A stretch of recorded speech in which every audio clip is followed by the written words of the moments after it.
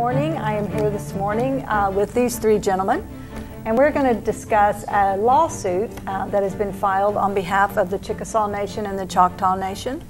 And so this morning uh, we have Governor Bill Anoatubby with the Ch- Chickasaws. Hello, Kelly. Hello there. Uh, we have Chief Batton, Yes, Halito. and we have Mike Burrage, the attorney representing these two tribes. Um, I am going to let Mike kind of set us up this morning and tell you a little bit about this lawsuit, its origin, and uh, what they hope to accomplish. Well, well, thank you. Uh, this lawsuit was filed in the uh, federal court in Oklahoma City and has been pending for about 10 years. And what it deals with is the unallotted lands that the Choctaws and Chickasaws owned in 1906. Even though the nations owned this land, the government passed a statute uh, that they were going to sell it. And they took the land and they sold it. The promise was legal title to the land and the continuation of these sovereign tribal governments. This land and all its assets were to be protected by the federal government under a trust relationship. Yet through this trust relationship, our tribes were stripped of their land and assets, resulting in the impoverishment of our people and the eradication of our cultural identity. This betrayal of tribal trust is the focus of our initiative. Uh, the statute required the land to be sold a certain way, and the nations uh, really don't know what happened to the land. They've never been given an accounting, a full accounting. And so this lawsuit was filed. Uh, the federal government passed a statute that says the um, uh, Department of Interior needs to account for what they did with this property. And so that's what the lawsuit's about. You took the land and you did something with it, and please account to us and tell us what you did with it and where the funds are. Okay, so this land was a, it was connected with the Trail of Tears, and the people that were relocated here, and they um, moved here. A lot of them were just uprooted and moved, and it caused a great emotional upheaval in your tribes. Governor, can you speak a little bit about the long-term ramifications that, that this has had for your people? Well, you know, uh, it's difficult oftentimes for people to identify uh, unless they've experienced it themselves. Uh, however, I think people can better understand if they place themselves themselves in uh, someone else's shoes. In the case of these tribes and uh, other tribes, we were uprooted from our homeland, which we lived there for many, many generations. And we were told to take what you can take with you, and you're going to a new land. In this case, it was Indian Territory. And many walked from, in our case, Mississippi to Indian Territory. Others rode in wagons. It, it uh, was a traumatic experience for our people. However, when we got to Indian Territory, we began to establish ourselves once again. We began to develop school systems, governmental systems, economic systems, and we began to plant our roots down in Indian Territory. And we were told by treaty that this land would be, that, be ours. It would never be a state or part of a state, and we would hold it in, basically in perpetuity that uh, as long as the grass grows and the water flows. And you've heard that terminology, but it was actually in in our treaties.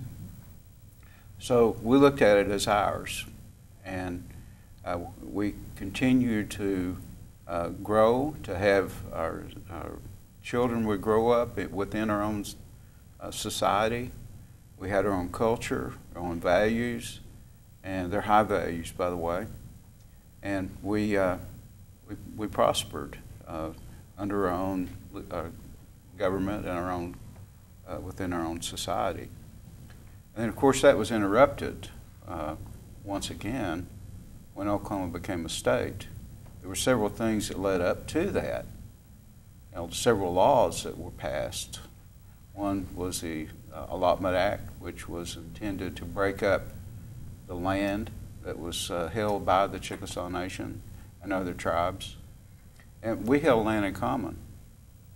We would have a particular tract of land that we could utilize for uh, our families, for crops or for business or, whatever to uh, benefit our family and the community. And so actual land ownership was rather foreign to us.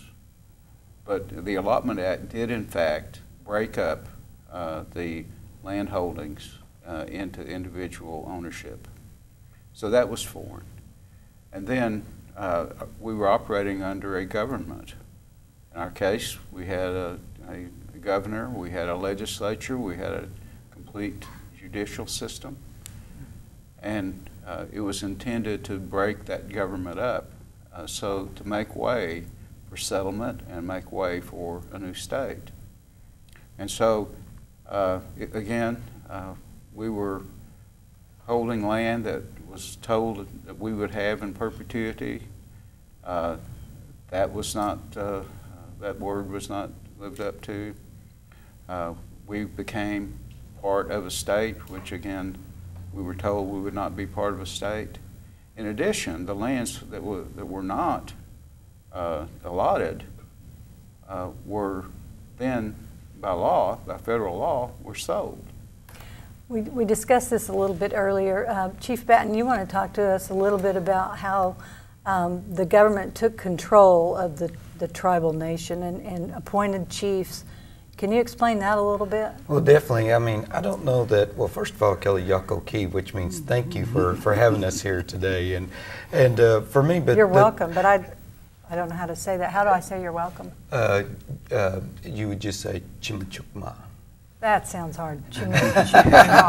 Okay, I'll work on that. Okay, but uh, but really, when we, we the Treaty Dancing Rabbit Creek that was signed, and when we were removed here to to Oklahoma from that time until 1983 that actually the, the President of the United States appointed a chief or a governor over our tribes. And so they were, like I said, I don't think people realize that we were a society, we were a government.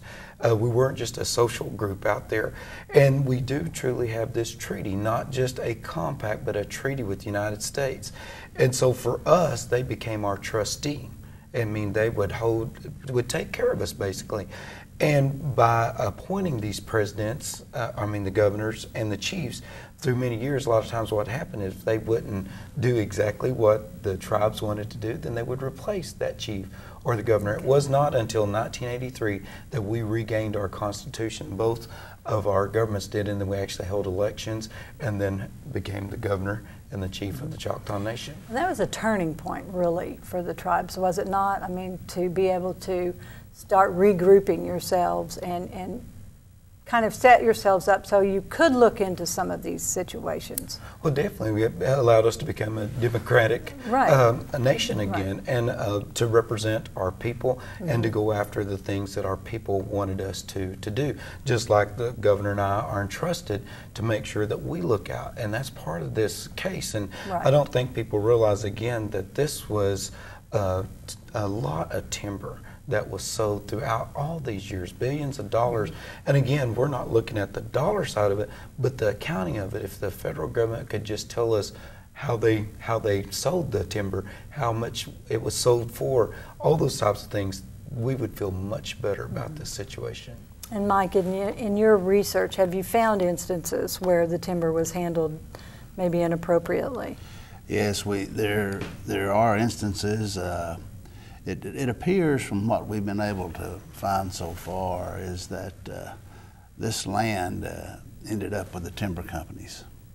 And uh, the statute provided how it was to be sold. Uh, and of course, it was supposed to be sold at a fair and reasonable price. There was to be appraisals. There were tract size limitations and so forth. Mm-hmm. And uh, we have not been able to find that that statute was complied with and uh, there was possibly some corruption, and uh, that's why you have these large timber companies that have these large tracts of land. And you know, and the tragic part about it is that uh, these nations, if they had not been robbed, excuse me, robbed of this property, they could be making the same kind of money that these timber companies have made, the billions of dollars that they've made over the years. So, uh, but going back to what this is about is it would like if you own your home and uh, you think you've bought your home, you think you own it, and the government comes in and says, We're taking it. And it's supposed to be for a public purpose if it's eminent domain, and you're supposed to receive fair and just compensation. And so your home's taken, and you say, Well, did I get any money for it? You know, what happened to it? And that's what this case is about, broken down simple. You, you took our land. Uh, what did you do with it?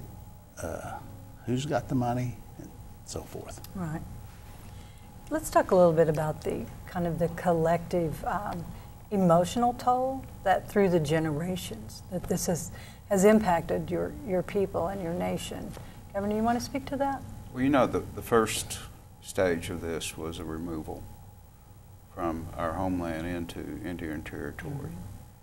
And that was traumatic. We did seem to begin the process of recovering from that because we began to flourish in Indian territory. However, uh, once again, uh, our people were, uh, what they had was taken away from them. Uh, and our in our culture, uh, uh, when you in all cultures you move from one to another, there's oftentimes culture shock, and that, in fact, happened to our people. They didn't always understand what how the other society functioned, uh, and when uh, land was allotted to them, oftentimes uh, they would lose their land because they weren't familiar with the uh, property law of, of the new state.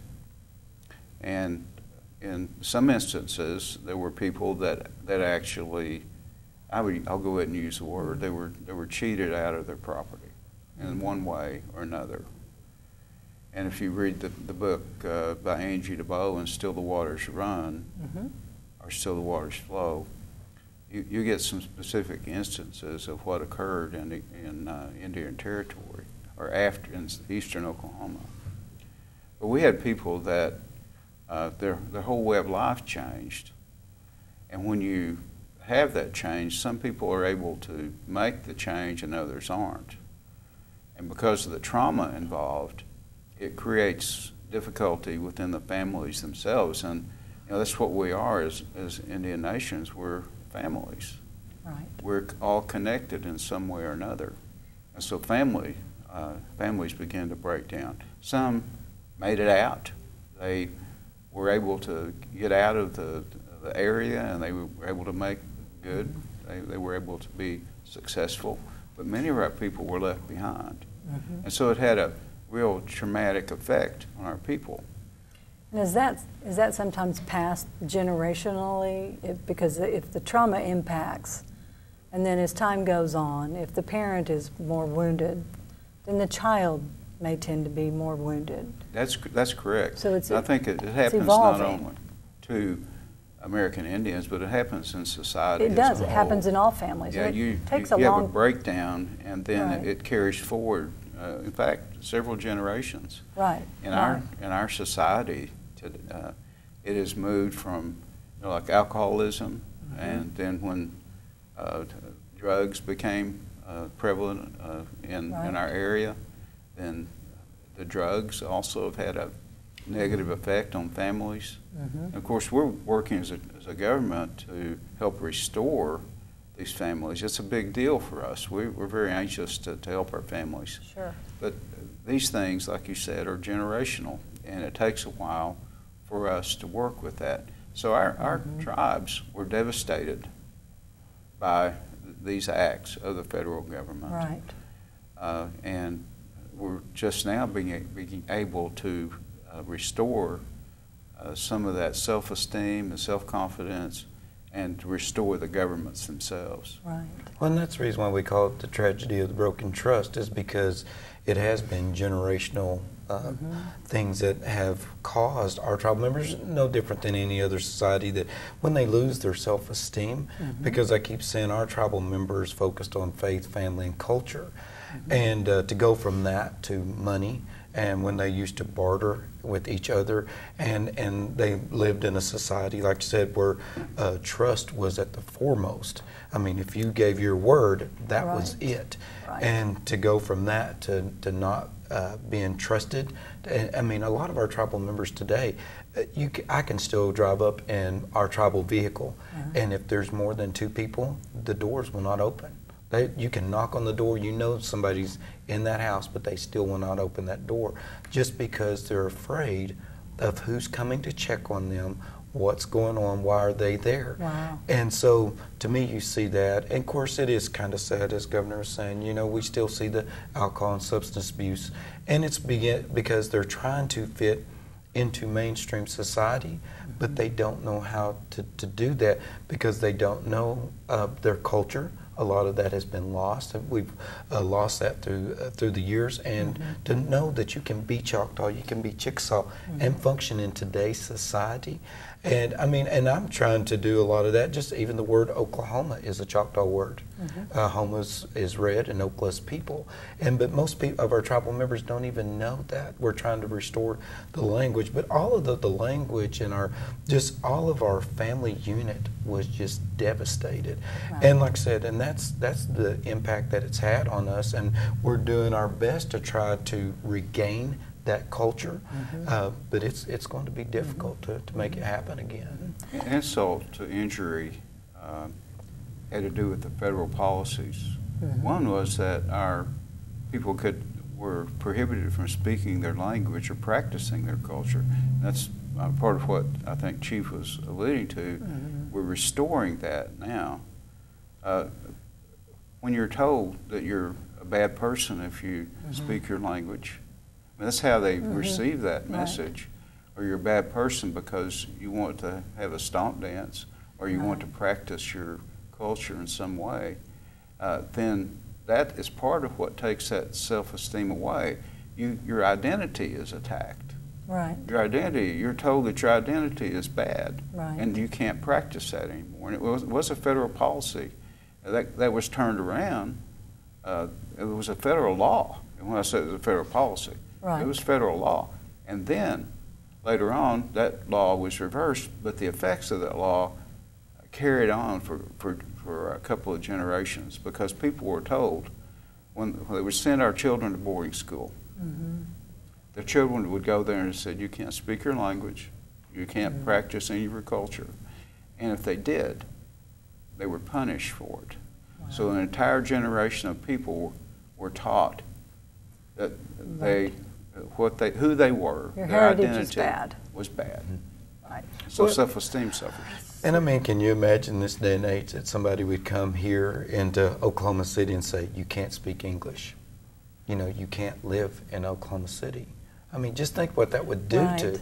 to, to uh, our people here. Right. It would devastate them and say, you're going to Wisconsin or somewhere. They, they wouldn't know how to interact. Or, I mean, and again, like Governor said, there's been some that's, I'd say our tribes have been very resilient and, and been that warrior. But, but it's taken a lot to get there, though.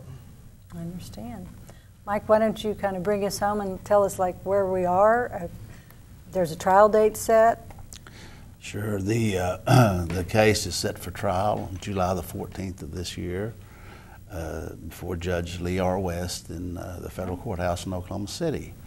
And uh, uh, I and some other lawyers will be representing these nations in this lawsuit. The government, the Department of Interior, they have their set of lawyers. Department of Justice has their set of lawyers. The trial will probably last several weeks, and the court will determine whether they have to account for this timberland that was sold. And uh, we, we are hopeful. Okay, well, gentlemen, thank you so much. Yes, and I was just going to say, I'm sorry earlier when I said uh, chim chim, it's supposed to be ome. Is you're welcome. That's easier to say. ome. Oh, So may. yakoki. Yo, may. I s- I say the same. Our languages are very close. Okay. Ukake. And Chapisa Lacho means I'll see you later. No goodbye. We don't say Choctaw, goodbye. Chickasaw. Oh, I'll see you later. See I you like later. that. Well, gentlemen, I'll see you later. Okay, thank you. Thank you.